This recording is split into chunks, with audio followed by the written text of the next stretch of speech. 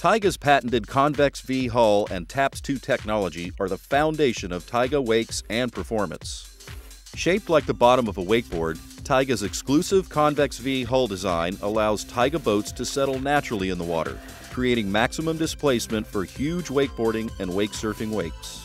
In place of a permanent hook, TAPS 2's hydraulic function gives you precise control over running attitude and wake shape, allowing you to reduce drag for more fuel efficient cruising as well as fine tune your wakeboard, surf, and ski wakes.